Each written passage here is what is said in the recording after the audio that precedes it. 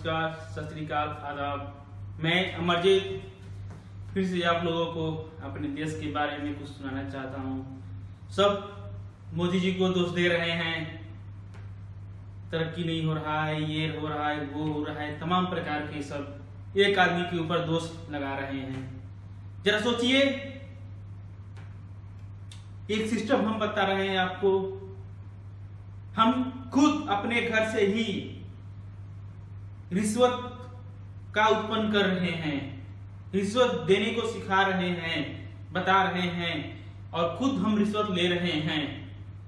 अपने घर में कोई सरकारी नौकरी नहीं है, कोई सरकारी दफ्तर नहीं है, कोई अधिकारी नहीं है।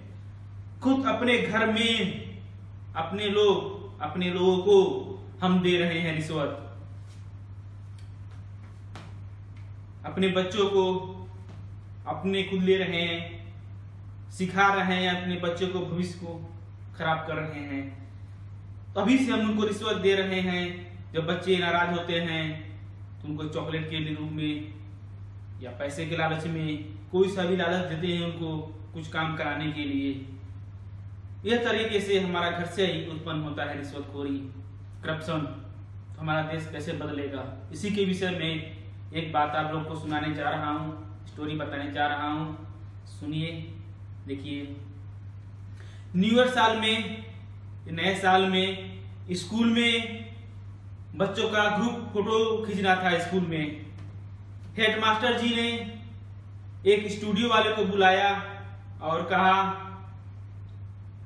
हमें फ़ोटो खींचना है, सभी बच्चों का। तो स्टूडियो ने, वाले ने कहा एक वो बच्चे का तीस तीस रुपए लगेंगे। तो हेडमास्टर जी ने कहा, नहीं, सोलह सौ बच्चे हैं, बहुत बच्चे हैं, आप कम करिए। तो बीस बीस रुपए लीजिए आप। तो स्टूडियो वाले रेडी हो गए, ठीक है भाई, हम करेंगे। उसके बाद हेडमास्टर जी आए, टीचर को बोले, बच्चों से तीस तीस रुपए लेना है।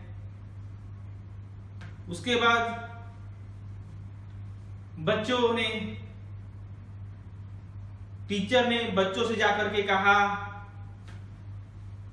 स्कूल में ग्रुप फ़ोटो खींचना है न्यू ईयर का। आप लोग अपने गार्जियन से अपने माता पिता से पचास पचास रुपए लेकर के आइएगा। फ़ोटो स्टूडियो वाला बीस रुपए लेगा। हेडमास्टर जी ने, टीचर को कहा, पचास रुपए लाने के लिए। और बच्चे, कुछ शैतान लोग हैं, रामखोर लोग हैं, वो अपनी दिखा रहे हैं बहादुरी। कहते हैं, ये टीचर लोग हैं फिर हमारे पैसे की लूट मचा रखे हैं। हमको मालूम है ये लोग क्या करेंगे। बाज़ार में बीस रुपए का फ़ोटो खींचते हैं लोग और ये लोग पचास पचास रुपए लेंगे। ये लोग ऑफ़िस में बैठ करके समोसा मंगा करके खाएँगे। ये लोग इंजॉय करेंगे। हम लोगों से पैसा लूट रहे हैं। हम लोगों को क्या मिलेगा? ठेंगा। फिर बच्चों, शरारित बच्चों ने दिमाग लगाया। और घर गए, अपने मम्मी से बोले, मम्मी मम्मी, हमारे स्कूल में ग्रुप फ़ोटो खींचना है न्यू ईयर का। मास्टर जी ने हमसे सौ सौ रुपए मांगे हैं। तो माता जी भी कुछ दुखी हो गई। बोली, लूट मचा रखा है स्कूल वालों ने तो इतना पैसा ले रहे हैं। फिर माता जी फादर जी से जाकर बोले अपने हस्बैंड से बोली हाँ जी, सुनते हो? स्कूल में दो दो सौ रुपए लगे हैं, दो सौ रुपए लगे हैं स्कूल के फ़ोटो खींचने के लिए। अब बताइए आप लोग, क्या सिस्टम है? स्कूल में कहा से कहा जा रहे हैं? हम खुद, जब टीचर, बच्चे की माँ अपने टीचर के बच्चे के पापा से, अपने हस्बैंड से सौ रुपए के जगह दो सौ रुपए मांगती हैं। यहीं से स्टार्ट होता है करप्शन रिश्वतखोरी, घुसखोरी। और हम कहते हैं, हमारा देश नहीं बदल रहा है, तरक्की नहीं हो रहा है, मोदी जी को दोष दे रहे हैं। जब पूरा सिस्टम समझिए स्टूडियो वाले को मिलेगा बीस रुपए हेडमास्टर जी ने बच्चों से कहा, तीस रुपए। और टीचर ने बच्चों से कहा, पचास रुपए। और बच्चों ने, मालूम है ये लोग बैठ के समोसा खाएँगे, वो लोग को ठेंगा मिलेगा। ये सोच करके बच्चे लोग अपने घर पर गए, सौ रुपए मांगे और उससे भी बड़ा तो घर में से निकला।